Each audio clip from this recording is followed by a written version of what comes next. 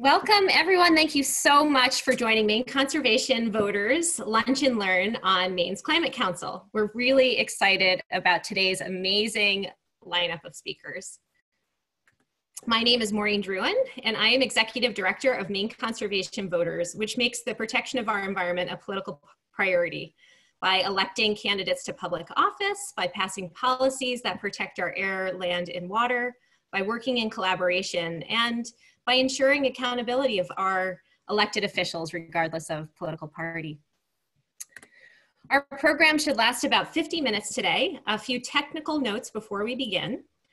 First, this event is being recorded. Um, second, Will Sedlak and Abigail Bradford from our team are here to make sure everything is running smoothly. So if you're having technical difficulties, you should chat with Will Sedlak. You take your uh, mouse and go to the bottom, and there's a little chat box, and you can write a message directly to Will, and he'll take care of you. Um, you are all muted, but we do want to hear from you.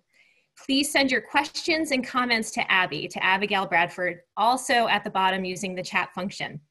You can hover your mouse down there over the screen, and the chat box should should come up. Um, Abby will keep track of your questions and I will ask those questions to our presenters at the end after they uh, are finished presenting. Um, finally, we'll all send you a link of the recording of this later this afternoon. And you can find all of our Lunch and Learn recordings as well as a schedule of upcoming events on our website at maineconservation.org. We are absolutely thrilled to be joined by Hannah Pingree, who is the Director of the Governor's Office of Policy Innovation and the Future, by Commissioner Jerry Reid of the Maine Department of Environmental Protection and Dan Burgess, who is the Director of the Governor's Energy Office. Our speakers will give an update on the Climate Council's work to develop a new climate action plan for Maine that ensures a reduction in carbon of 45% by 2030 and 80% by 2050, aids in community resilience, and builds a clean energy economy for all Maine people. Um, now, I and two of my colleagues, Kathleen Neal and Beth Ahearn, who are also on the Zoom call, are serving on three of the working groups of the Climate Council. And I see a few others who are on this call who are also serving on working groups. Um, and as we were prepping for today, our speaker said, well, you know, why don't you talk about what it's like um, to be part of this working group and how it's going. So I just wanted to share a few things. Um, now, for me, it's been really exciting to be part of a team that's working on solutions. And this especially given the, the last several years of inaction, it's, it's really fun to roll up your sleeves and get to work. Um, I've been very impressed by the level of expertise and skills and professionalism of the other folks on the working groups. Um, and as you can imagine, there's a diversity of perspectives and constituencies, and it's not always easy um, to agree on the solutions. Um, but what I found is that even though um, there is some, you know, figuring it out, we're all really committed to the state meeting its climate reduction, its um, carbon reduction goals, um, and the other goals laid out in the legislation. Um, I'm really excited. We're getting down to the final recommendations. I'm really excited I, on the Natural and Working Lands Group where things are headed and the recommendations that will be going to the Climate Council in June. I know that Kathleen and Beth are also excited about their working groups. Um, and just overall, I want to express how grateful we are for the leadership of the Mills administration. Um, even in the middle of this COVID 19 crisis, this pandemic, the governor has continued to make and she has said that working on climate change continues to be a high priority for her administration. And we're just so grateful for that. Um, and as I turn it over to Director Pingree, I just want to thank her and Commissioner Reid and Director Burgess um, for your commitment to realizing the governor's vision. I know there's so much um, that you're doing to make this a reality. So thank you. Um, thanks for being here today, and I'll turn it over to Hannah. Great. Well, it is, um, it's wonderful to be here virtually with you all. Um, hopefully everybody is, get some chance to enjoy what looks like a super sunny and beautiful day out there in Maine. Um, Jerry and Dan and I, as well as many members of the Climate um, Council and working groups have spent a lot of our lives on Zoom. So we're, I think the, the chance to live in a beautiful state like Maine uh, allows us to balance both. Um, I'll just say last month alone, the uh, six council working groups, the science committee um, had 30 working group meetings in 30 days in the month of April. So, um, you know, bragging about meetings is not necessarily a sign of progress, but I just, it really does show, uh, even in a challenging time and a, very uncertain time, uh, the governor is um, focused on climate. Our team and our working groups and uh, 231 people in Maine who are part of our official process um, continue to dig in despite all that's happening. So um, I'm really proud of that work and really more grateful. Um, Maureen, Maureen, to you and your team who's who's um, really been supporters from the very beginning and you know to the hundreds of Maine people who are engaged in our process and putting in time and effort um, even even during this challenging time. So just again, thank you. Um, just go to the next slide. Sure, we'll get there. Good. Um, so just, just from clearly from day one, Governor Mills made one of her top two um, issues climate change. I mean, she was the first thing she talked about in her inaugural address, the need for our state to start to really put action plans in state place and start taking action on climate. Um, she has made it a priority throughout her administration. And we really now, a year and a half in, um, we're going to talk today about some of the progress we've made um, and the work of the council, um, but already a lot has been accomplished. Um, I will say that this COVID crisis um, is taking up a lot of the governor's time and certainly her administration's time. Um, but again, we have not slowed down our focus on creating a four-year climate action plan for Maine. Um, again, we have moved all of our work to Zoom and to virtual meetings, still publicly accessible, um, but the work has not slowed down. We are, we are still on track. Um, Jerry will go through some of the timeline issues of, of where we are and when we're going to be done. Um, but again, it has not slowed our progress. Um, I just think this, this COVID crisis is sort of, um, has certainly changed the way we think about crises and how, how kind of people can come together around major challenges that our country faces. Um, clearly, we're not necessarily seeing that in Washington, but I think it's been um, important for people who are part of this process to realize like there is still this crisis out there and, and I, my commitment to focusing on it remains just as important. Um, certainly, I think this crisis has heightened our appreciation for nature living in a state like Maine, um, our ability to interact uh, in such a beautiful state and appreciate what we have and understand some of the challenges that climate change could pose to our to our nature and to our outdoors um, is is heightened. Um, and I also think this crisis, at least uh, for now, people really are believing in scientists. At least I am. I mean, I think we are looking to doctors and to experts, um, and that is where we are trying to focus our our climate work as well. I mean, I know that many folks in this call have always believed in science, um, and being able to elevate that science is clearly important in both crises crises. Um, and clearly this COVID crisis is also challenging our communities, our economic systems, our systems of resiliency. Um, and that is really what a lot of our climate work is about. How do we make sure that our communities, our landscape, um, our energy systems are able to withstand um, the kinds of challenges that um, climate change will bring. So there are a lot of um, there are a lot of similarities between the crisis we're facing and the current COVID epidemic, but I think, um, and, and we're trying to sort of carefully tread on those, but uh, again, the governor's uh, focus on this issue remains um, really at the top of her agenda. And again, you won't probably hear her talking about it in the next couple weeks over her press conferences, but she knows the work we're doing and the work of all of our working groups is happening and is, is really pleased with that.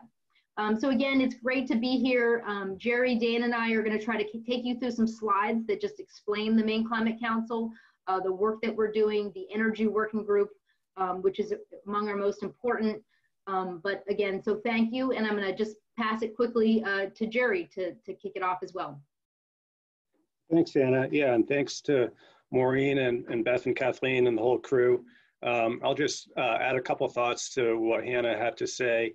I think, as Hannah alluded to, the COVID-19 crisis has handed us a lot of challenges in different forms, some of them logistical, as Hannah was saying, as we're shifting the, the mode of presentations from what we thought were going to be a lot of really good, exciting in-person meetings with the council and the working groups to these these virtual Zoom meetings and other other virtual get-togethers like the one we're doing today. But there's another challenge that we've been talking about internally, and that's how to message appropriately in light of the public health crisis. And we've seen a lot of stories, I think, in the in the popular media recently. It seems like there's an irresistible urge to focus on some of these short-term environmental dividends, you might call them, um, that the pandemic has brought along with it. And, and most of those are in the form of reduced emissions and improved air quality.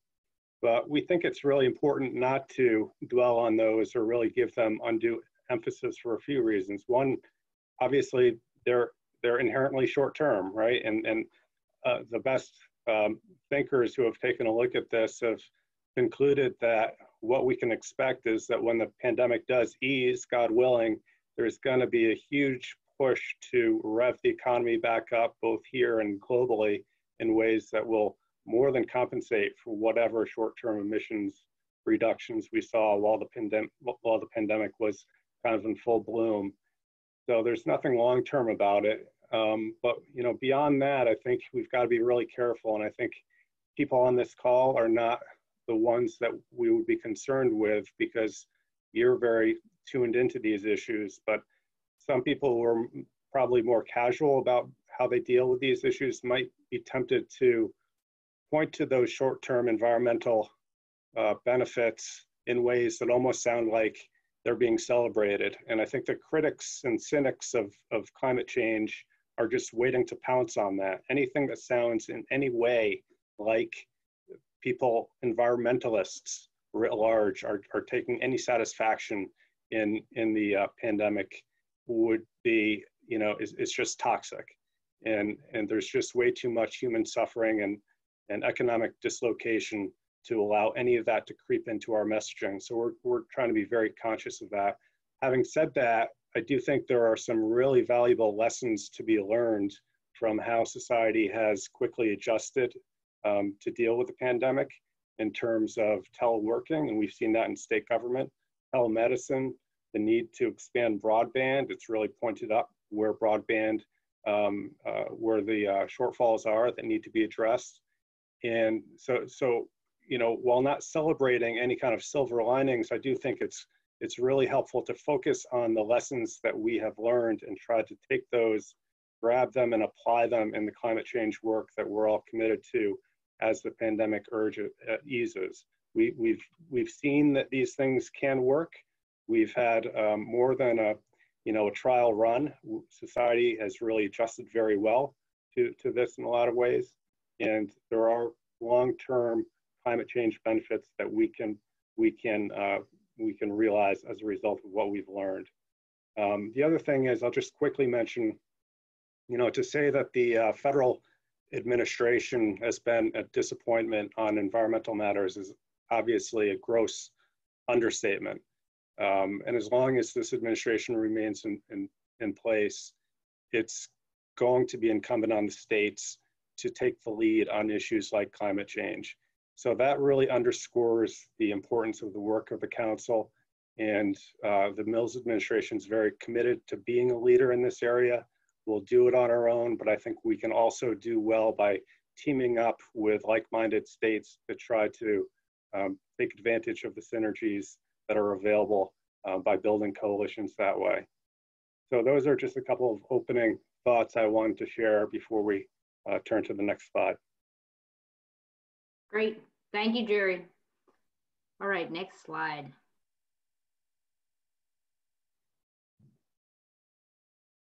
Excellent. Um, and, I, and as Jerry just said, we won't go into it, but clearly the, the administration in Washington is making some climate issues worse by the day. So uh, our work is certainly cut out for us. Um, we put we put up this slide about um, because I think it does just to highlight the governor's leadership I think as many people know, she was invited to the United Nations this past September. She was the only uh, uh, governor to speak um, before the UN General Assembly.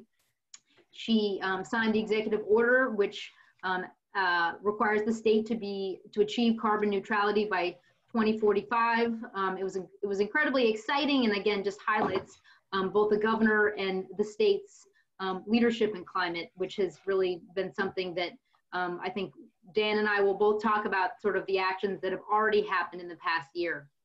Um, next slide.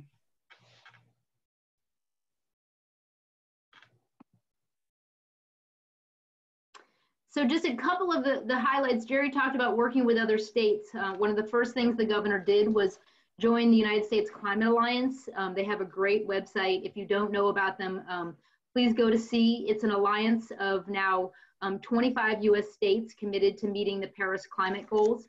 Um, the US Climate Alliance was started by um, New York, um, California, and Washington State the day after Trump with, announced intention to withdraw the US from, from Paris.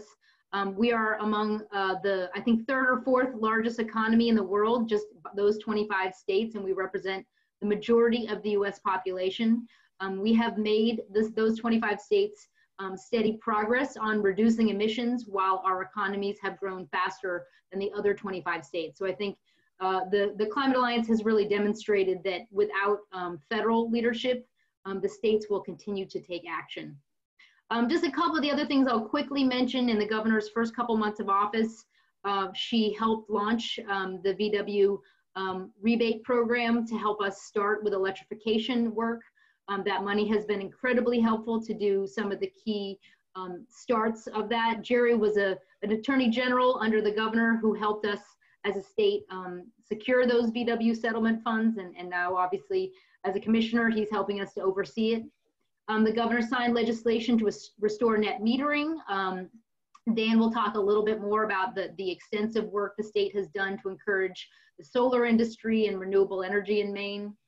Uh, she ended the blanket ban on wind power in Maine that had been enacted by the LePage administration. Um, and maybe obviously she withdrew Maine from the offshore drilling coalition. Uh, next slide. So I'm going to kick it over to Dan because I think we had uh, a really exciting, uh, especially 2019, um, probably one of the most tremendous and exciting environmental legislative sessions uh, the state had seen in many, many years. Um, a ton of stuff was accomplished that really builds the groundwork for the Climate Council's work. Um, I think the governor felt while she's she was going to start the Climate Council to make a four-year action plan, she was not going to wait for that plan to get going and Dan has really helped to take the lead on on the the things that he'll talk about now. Thanks, Hannah, and thanks to you all for again having having me uh, join this. It, you know, it's a it is exciting to think about all the work that that um, went into legislation being passed last year on, on these categories, and we've really um, moved to the implementation phase, and so we're starting to see the results from this. So um, as many of you may know, um, Maine now has a renewable portfolio standard that is uh, required to be 80% by 2030. So 80% of the electricity that uh, Maine people receive in 2030 will come from renewable resources. That is one of the most ambitious uh, increases in the country. Uh, we are, you know, a, a, smaller state, only 10% of the New England electric load, but the pace at which uh, we are going to be increasing our renewable energy is is, is significant. Um, we've also set up a, a, goal of 100% renewable power by 2050. Those, those requirements are, are in law and in statute, and we're beginning to see um, the implementation of those programs now. Uh, one way in which that's happening is through uh, Maine's largest uh, clean energy procurement in history. Uh, bids are actually due to that, to the PUC this Monday and then, then they'll beginning to uh, review those bids and sign up for 20-year long-term contracts. So really significant movement in, in the larger uh, utility scale renewable portfolio standard projects. Uh, in addition to the restoring net metering, uh, the governor signed LD 1711, uh, supported by many of you and organizations on, on this call, which is going to incentivize at least 375 megawatts of solar. Um, currently, Maine right now has roughly 60 megawatts of solar, and this legislation will um, add, add at least 375 and more likely to the 400, 500 megawatts of solar. So really significant uh, opportunities for increased solar and is, and is uh, looking at and uh, will be incentivizing community shared solar, solar that um, uh, benefits low and moderate income individuals in our state, and we're seeing just incredible interest uh, across the state as that rolls out this summer. And then Maine is actually the most uh, heating oil dependent state in the country. Over 60% of our homes utilize home heating oil. And so the governor set a very ambitious uh, goal of installing 100,000 new high efficiency air source heat pumps in Maine by 2025 with a focus on low and moderate uh, income residents with just about 550,000 households uh, adding 100,000 new heat pumps uh, is a really significant step, and uh, rebates and incentives are now available uh, at Efficiency Maine Trust to, um, make that uh, make that a reality. So we a significant legislation passed last session, and now we're beginning to implement a lot of those those programs and policies.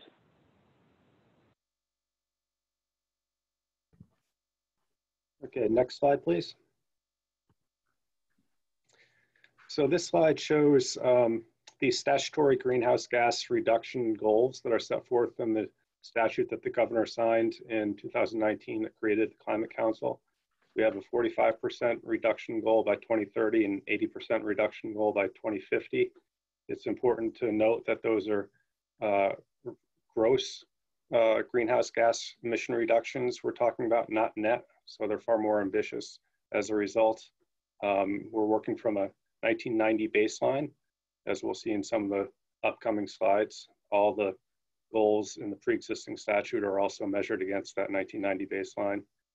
You also see here some of the themes that are set forth in that statute. The council is directed to rely on the latest scientific and technological information and to analyze the technical uh, feasibility and cost effectiveness of the solutions that are under consideration the foundation of what we're doing is to try to build a clean energy economy and to tap into the opportunities for job creation that'll come along with that.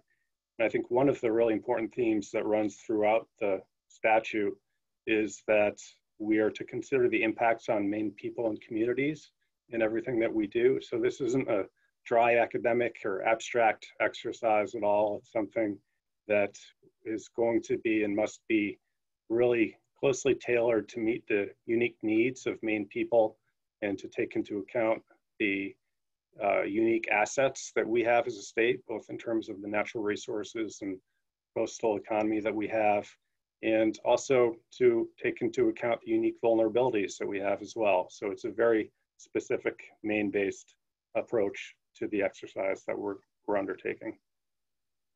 Next slide, please.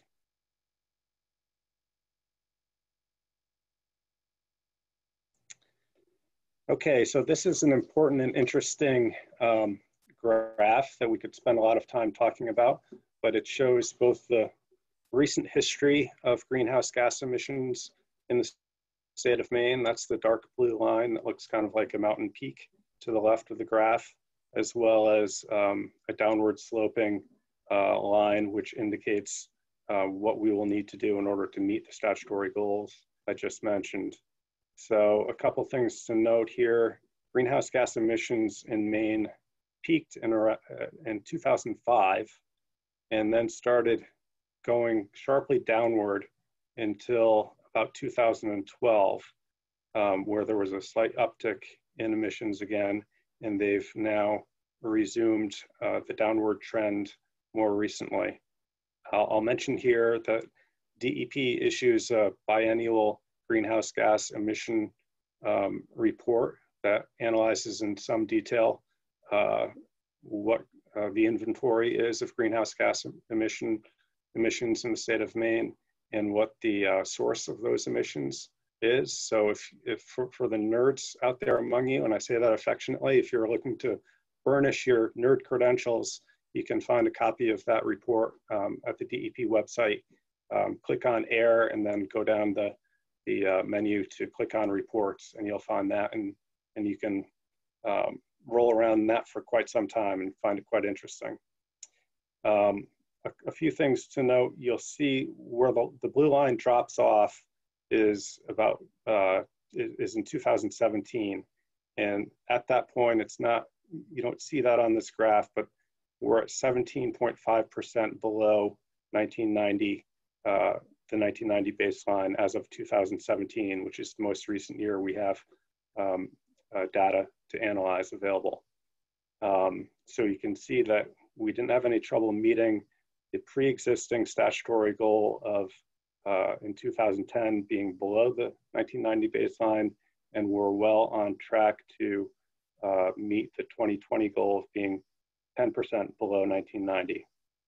So um, I'm optimistic that on my watch as commissioner, I will never fail to attain one of these statutory greenhouse gas emission reduction goals. Um, Dan can probably talk a little bit more about this uh, when we get to his portion of, of the program, but um, you're probably wondering what accounts for some of the uh, pre-existing um, greenhouse gas emission reductions in the state, and I think some of that is attributable to the transition to natural gas. Some of it is probably attributable to um, economic factors, including mill closures. So we're not going to be able to count on either of those two things in the future to meet the ambitious goals that we have lying ahead of us. Um, there are other regulatory programs that I think deserve some credit. The RGGI program, um, improved vehicle emission uh, standards, um, other energy efficiency and conservation programs also are responsible for having reduced emissions to some point. But I think the important message is that uh, we're going to have to take this to the next level um, in order to meet the goals that we have ahead of us. And that's going to require some um, creativity and uh, some tough decisions that we'll talk about a little bit later in the, in the upcoming slides. Next slide, please.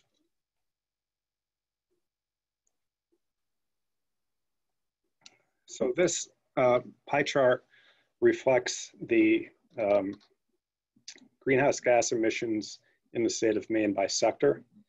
And what's important about this is that Maine is quite unique in how large the transportation sector is and its, its responsibility for its share of emissions. It's also true that, as Dan said, as, as the most heavily reliant state on home heating oil in the nation, the residential sector has a disproportionate responsibility for greenhouse gas emissions in, in the state of Maine.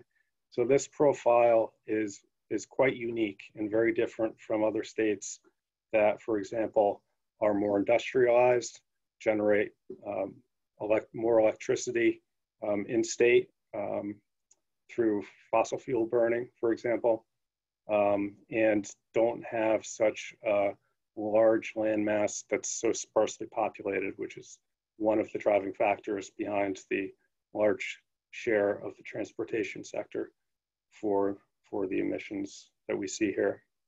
So it, it points up kind of where we need to turn as the Climate Council to find the emission reductions we need to make to meet our goals.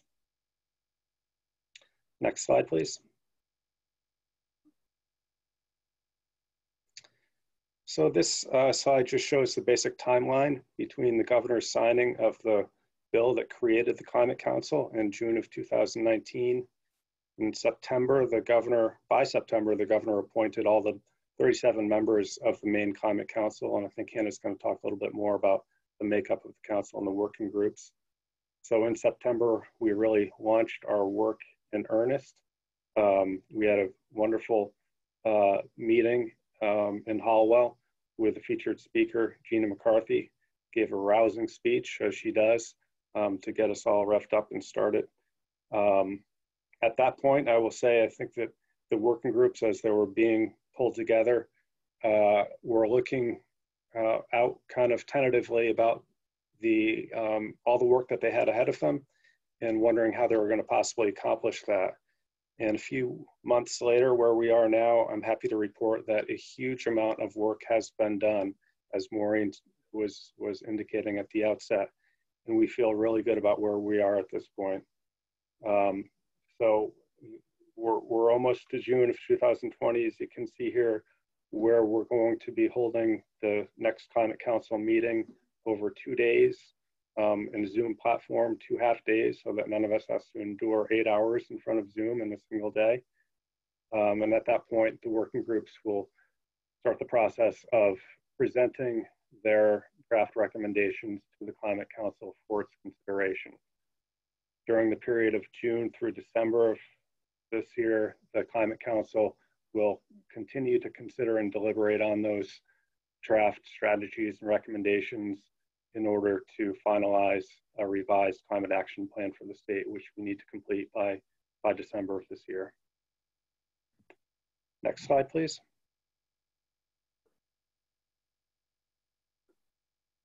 So this uh, slide just shows kind of the uh, framework of the Climate Council and how it's created.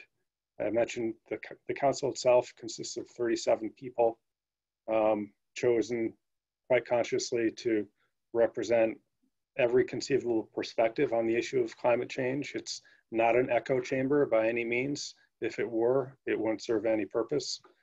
Um, and underneath that structurally, as we've set it up, is the scientific and technical subcommittee headed up by Bob Marvinney, the head of the Maine Geological Survey, and Professor Ivan Fernandez of University of Maine, two wonderful people. And the, the placement of the subcommittee here emphasizes the point of the importance of, of science and data and evidence in the Climate Council process. The subcommittee both advises the, the council itself, but also is a resource available to the six working groups that you see identified below it who can draw on the expertise of, of the subcommittee in the course of their work. Those, um, those working groups you can see address issues of buildings, infrastructure and housing, coastal and marine, community resilience planning, public health and emergency management. Um, it seems like a bit of a catch-all uh, working group, but actually those topics are closely intertwined when it comes to uh, climate work. The energy working group that Dan is co-chairing, transportation, and uh, what's the last one there? Natural, Natural working lands that, that Maureen is on. Next slide.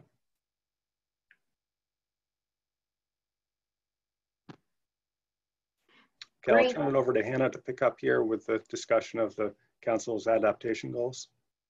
Great, thank you, Jerry. So, I mean, just to be clear and climate language, I'm sure lots of folks on this call are, are very familiar. Sort of the, the two big words are mitigation. So, how do we mitigate or reduce the amount of carbon that we're emitting? And um, certainly the energy group, the transportation group, and the buildings group are, are really focusing on how to reduce um, the amount of carbon emissions. They also have adaptation goals as well, but those are sort of the three focus areas. I'd say natural and working lands probably has has both areas, like how do we sequester more carbon in our forests and our soils, um, but also how do we help adapt. And then certainly the coastal and marine group has has is as well as the resilience group are focused on on adaptation. How do we help make sure that the impacts of climate that are here and that are um, likely predicted to come, that Maine is ready for them, um, how do we prioritize the needs, especially of Maine's most vulnerable communities, um, to the challenges that, that climate brings, whether it's um, high heat days, uh, whether it's weatherization of homes that are, that are cold, whether it's impacts on industries, um, whether it's fishing or farming um, that will be felt. Um, those are incredibly important.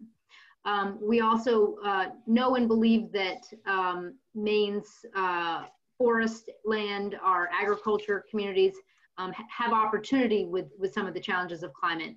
Um, and there's, you know, Maureen could probably answer this question um, best, but there are um, clearly um, uh, a lot of opportunities, especially in the forest product sector um, for the state of Maine when it comes to climate challenges, both whether it's using wood products for insulation and building materials, mass timber, to building forest land that can sequester more carbon.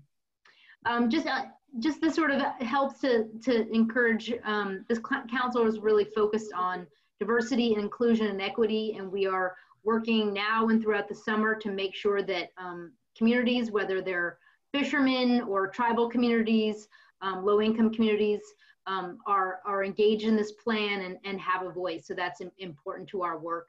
And again, all the all the work of the Climate Council um, certainly is focused on utilizing um, science and technical information. I will say one of the challenges of both the science um, group as well as the natural and working lands is just coming up with um, a strategy and process by which we um, count for sequestration for our state. I mean, carbon neutrality, people kind of try to figure out what that is, and it really is how much um, carbon is the state sequestering versus how much are we emitting. So making sure that the science of that is really accurate and defensible um, and something that we all um, trust and believe is incredibly important. Uh, next slide. Um, so I, I, won't talk a lot about this slide. Jerry did, did a good job explaining it. Um, the science and technical group um, is an incredibly important group. They have already actually issued um, a draft report, which is on our website, maine.gov slash future. You can find out lots of information about the Maine Climate Council there. Um, you can click on any of the different subcommittees, including the Science and Technical Subcommittee. Um, they issued a report about the impacts um, climate has already had on the state of Maine. Um, and again, they are among our most important groups. Um, Maine is very blessed to have some of the most amazing climate scientists in the world, whether it's in the forest sector or the marine sector, um, Arctic, um, lots of Arctic um, uh, expertise at the University of Maine. So um, we are really relying on them to be the bedrock of all of our work. Uh, next slide.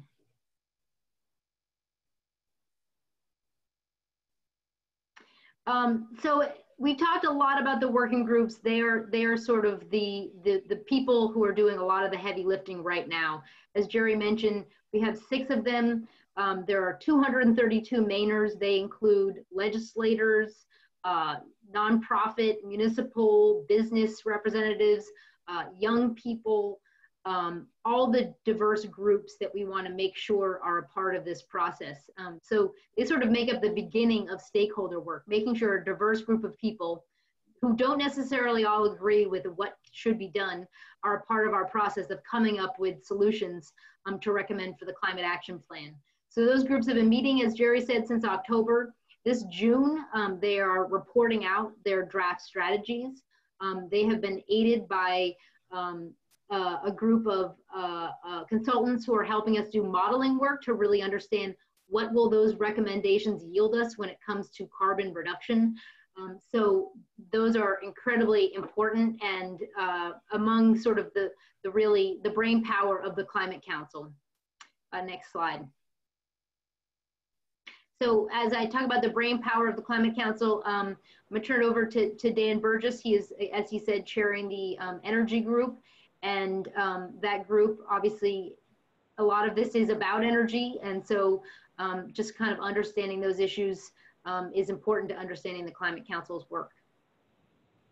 Thanks, Hannah. Um, so want to give you all a sense of what's being discussed at, at the working group level, and particularly in the energy working group. And I think to do that, uh, want to give you a sense of uh, where our electricity is coming from you know, Jerry mentioned that uh, by in that chart that the electricity sector only makes up a, under 10% of our emissions, but as we begin to electrify more of our, our, our heating through air source heat pumps and, uh, and, and other low carbon resources on the heating side, and then uh, uh electrify our transportation sector, we're going to be relying more on electricity. So we need to make sure that we're um, ensuring that those come from lower carbon resources.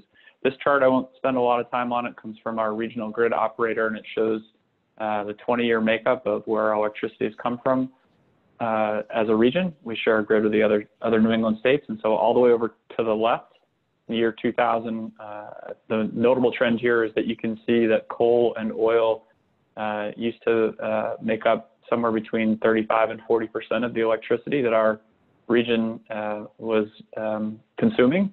Fast forward all the way going to the right by 2019 coal and oil uh, make up 0.5% uh, of the electricity. So our, grid has become um, significantly cleaner. There are many reasons for that. You'll see at the top uh, is a real uh, uh, growth in natural gas, and that has helped from an, emissions perspective, um, but has also made us much more reliant on, natural gas for our electricity. So many reasons uh, for these changes, economics, RGGI, and, and, others, but this is where our electricity is, is coming from as a region. Next slide. And so as, as mentioned, Maine increased our renewable portfolio standard up from 40% to 80% by 2030. This is uh, in comparison to the state, other states in New England. You can see Maine as the, as the purple line used to be uh, at the bottom. These are for uh, new resources, and now we are, have, have one of the most ambitious in the country. Next slide. So as we think about how are we, uh, what, what renewable resources are we going to be using to, to meet, meet those, there are many that are eligible in our portfolio standard, wind, solar, biomass, geothermal, fuel cells. Uh, many of those are contributing. One, one area that we see a lot of potential in is for offshore wind. Uh, this is a, a, wind speed map of the United States. You can see that uh, California and off the, off the Gulf of Maine have some of the best resources in the country. So we see a, a very significant opportunity for offshore wind, responsibly sited offshore wind and developed in a way that um, minimizes uh, impacts on existing existing users. But you know, we have joined a federal task force that uh, uh, leases areas off off the Gulf of Maine, and then we're excited about the Maine Aqua uh, floating demonstration project that is uh, currently under development by the University of Maine.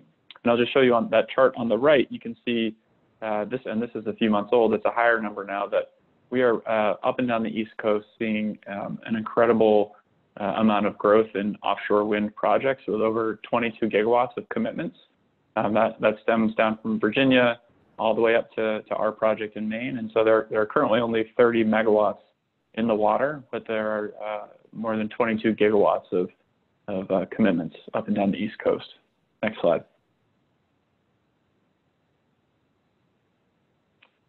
And so as the next slide, please. And so as the energy working group, we have 30 members, as, as Hannah and Jerry discussed. This is not an echo chamber. This is uh, uh, 30 experts or representatives of, of industry, technology, uh, utilities, and others that are working to um, figure out how we most cost effectively and uh, effectively achieve these uh, uh, energy goals and emission reduction goals. And we're you know, looking at both mitigation and adaptation, as well as how um, low and moderate income and other vulnerable residents could be impacted by some of these these changes. Um, we're also tasked with uh, working with the rest of the Climate Council to develop a clean energy economy transition plan so that as we continue to, to grow the amount of clean energy on the grid, as we make some of these changes, how do we make sure that the economy um, is, um, is supporting that and that we get a robust clean energy economy that, that comes with it. Next slide. So we have uh, had uh, six or seven different meetings and have begun splitting up into subgroups to look at um, initial recommendations, which we'll give to the Climate Council. And those have focused on um, supply. So uh, again, some of the electric supply that, uh, categories or issues that I talked about before, but also thermal supply. So where are we getting where are we getting our, our, our heating and um, and other thermal resources? How do we maximize that supply and optimize the grid um, so that you know we're not just adding supply for the sake of adding supply, but we're adding it in the right places at the right times?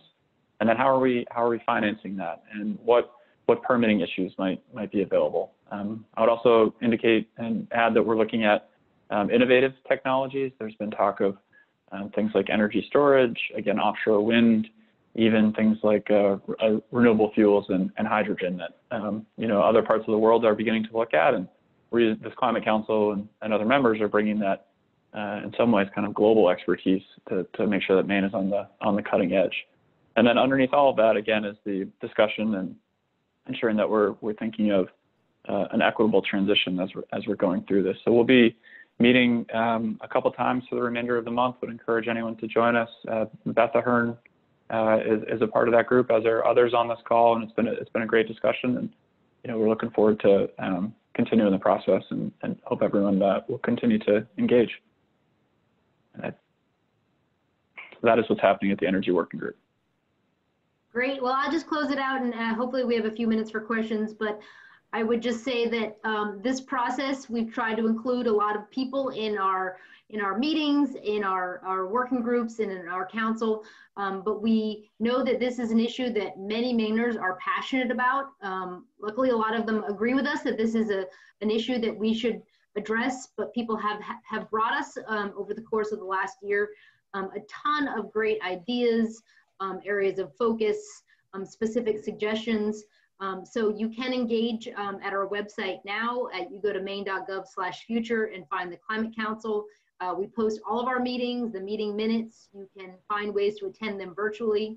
Um, but I'd say most importantly, over the course of the summer, um, we're going to be launching a, a, significant public engagement effort. Um, we had envisioned um, large public meetings this spring where we could invite you um, to hear about what we're doing and give your opinion on specific um, parts of the plan. that's uh, now more challenging, so we're going to do it with a, a significant web effort as well as smaller group meetings. So sign up on our website to be a part of our, um, to make sure you get our emails and you can be noticed when this comes out. But clearly, um, we know that public opinion polls tell us the vast majority of Mainers are with us. They think climate is an issue that is urgent and needs to be addressed. Um, but having as many Maine people as possible sort of following the details of the plan, giving their input, telling us what they think is most important, also what they would be willing to do in their own lives to help um, with some of the challenges. Um, that's what we plan to put out this summer. So you can tell us your opinion now, um, or you can wait for over the summer. But again, uh, we really appreciate folks even uh, showing up to hear us on a beautiful Friday. So thank you. And the one last thing I'd add uh, before we get to the Q&A portion is um, building on what Hannah just said, if folks on this call have idea for ideas for potential ambassadors that we might be able to recruit to build support for the recommendations that are coming out of the council.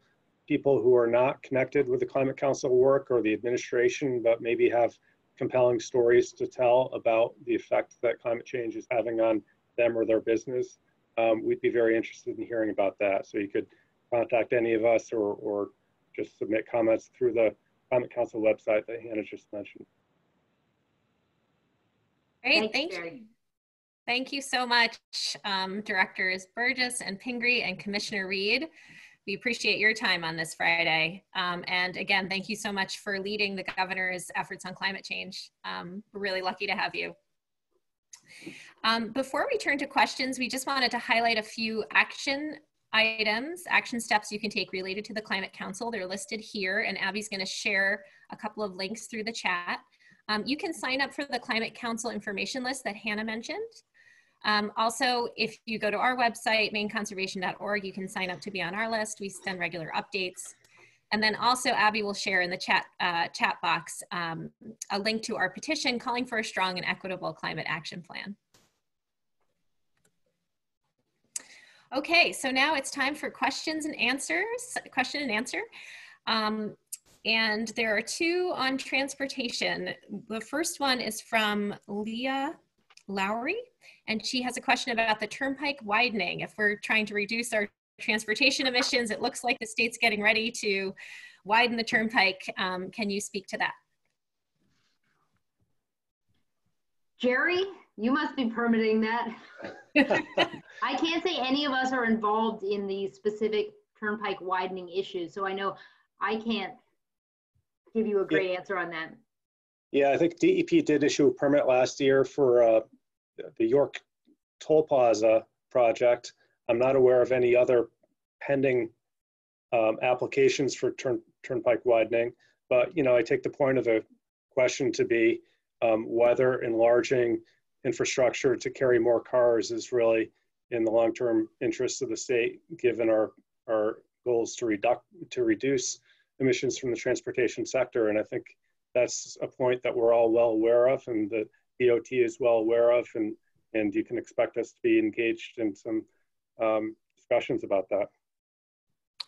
Also on transportation, seeing that chart where 54% of the emissions are coming from the transportation sector, there's a question from NRCM about the trans Transportation Climate Initiative and where the state stands on that, and if that will be part of this process. I mean, I think I would say um, we are we are um, excitedly um, awaiting the recommendations of the Transportation Committee. I think, obviously, um, as Jerry's slide was indicated, transportation is among our most significant challenges. So I know that group has been working um, overtime, and mid June they will be presenting um, their strategies to us. I think clearly electrifying transportation and reducing the number of miles people travel, whether it's through a variety of different, whether it's telecommuting or ride sharing or public transportation. There are a lot of different options. Uh, the Transportation Climate Initiative is um, a multi-state effort um, that is sort of, uh, the state has been monitoring and, and um, following that closely to see what happens with it. Um, but, I, and I don't know necessarily, it's a funding strategy and a, and a carbon reduction strategy. I don't know where the Transportation Committee will come out, um, but I'd say it's something that, that we've all been following closely. Dan, you want to? No, I, I, think that's right. Monitoring, monitoring that, and and looking forward to seeing the Climate Council recommendations around both those issues. Great. So this next question comes from Dan Amory. Um, the state's revenues are projected to decline by 25 to 30 percent in fiscal year 2021 and are likely to remain challenged for years to come. Will the governor continue to prioritize the resources needed to implement the climate action plan in this constrained environment? Will the strategies coming out of the Climate Council process be dependent on state funding? I mean, I think, uh, hey, Dan, my, my neighbor in North Haven in the summertime. Um, good to hear you virtually. Um, I think we're all trying to understand, you know, we are facing, I would say now, uncharted territory in terms of the number of dislocated Mainers, people um, who are losing their jobs, revenue losses for the state. Um, certainly, I would say even Congress is wrestling with this uh, this upcoming week on how to help states through these challenges. Um, we, we, I know J Jerry, Dan, and I believe that um, we, we hope Congress will turn its attention to how do you help states rebuild um, through green recovery programs. It happened in the 2009 stimulus where um, states receive significant funding for energy projects, infrastructure projects that help put people back to work and help build more sustainable long-term economies. Um, that is something I'll be lobbying my mother and others on um, in the coming days. Um, we may not have a federal administration as open to that, but um, we still remain hopeful. I would say the governor is was is committed to climate, and I think we'll all try to think creatively about how to make sure we can continue to make progress um, despite what is going to be um, significant fiscal um, challenges. I would say some of the areas that Dan is working in on energy offer a variety of ways to figure out creative funding solutions.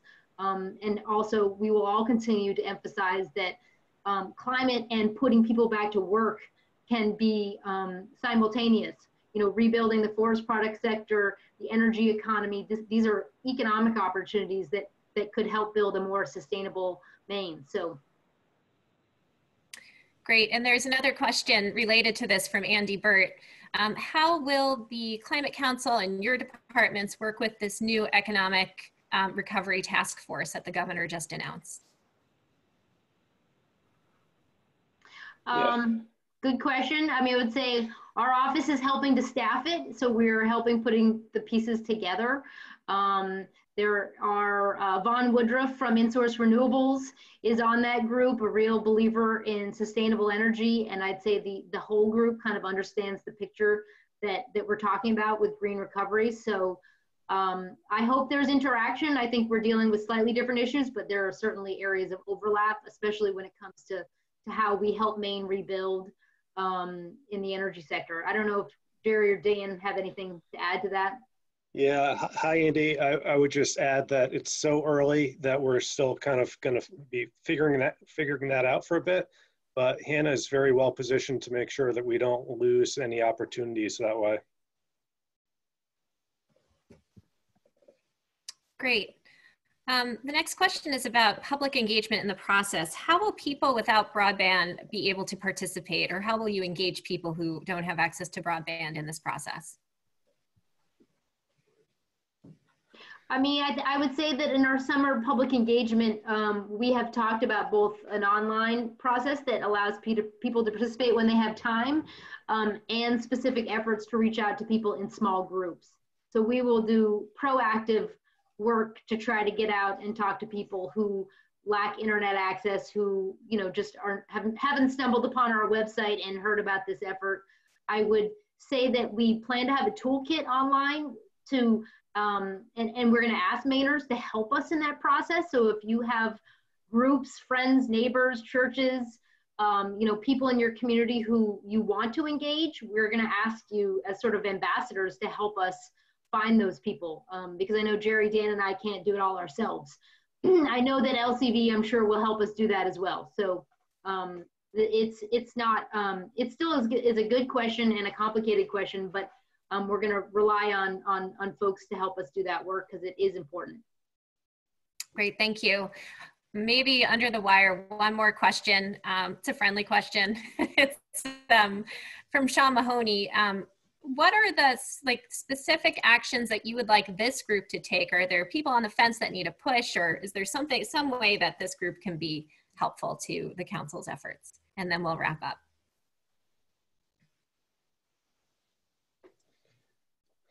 Well, Dan and Jerry, yeah, I've been doing all the talking. You go for it. Yeah. Um, hey, Sean. Uh, thanks for the softball. Um, I would say so many of you in the audience today are already helping us in a variety of very specific ways and have been really generous with your time through working groups or, or in, other, in other ways. Um, the, the one thing that I mentioned earlier is this idea of if you can give some thought to, idea, to, to identifying people who really haven't been part of the process yet, don't have any connection to the administration, but would be really great ambassadors for the cause. Um, I, I, think there's probably some more potential to do work that way. And those are the voices that are so influential, as we all know, with, with policymakers, is people who aren't getting paid to, to appear before the committee to deliver a, a canned message, but people who are speaking in very plain terms from the heart about their own experiences and why this matters to them. So if we can all work together to think about more examples of that to, to bring into the conversation, I think would be really helpful.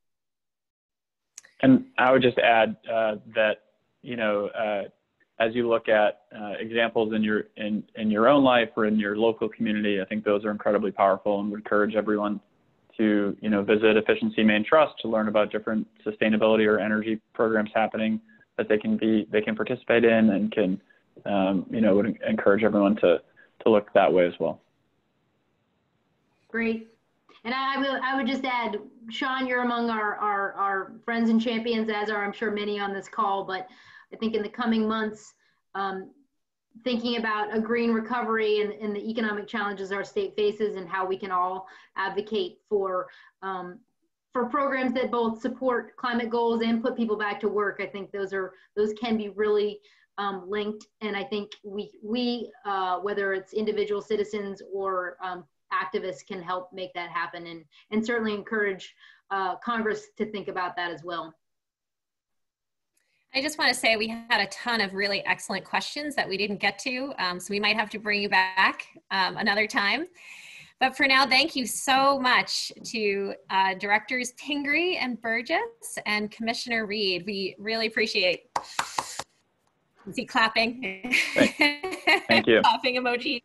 Yeah, and so just for everyone, we will um, be emailing you a brief survey. We really value your feedback. If you could take a few minutes to fill that out, fill that out. Um, we would appreciate it. And if you've enjoyed this lunch and learn, uh, please join us for next Fridays, which will be on carbon pricing with Robert Stoddard from the Berkeley Research Group. Um, so thank you again. Um, and thanks again to our speakers. Have a really great weekend, everyone. Thanks, everyone. everyone. Bye-bye. Thank you.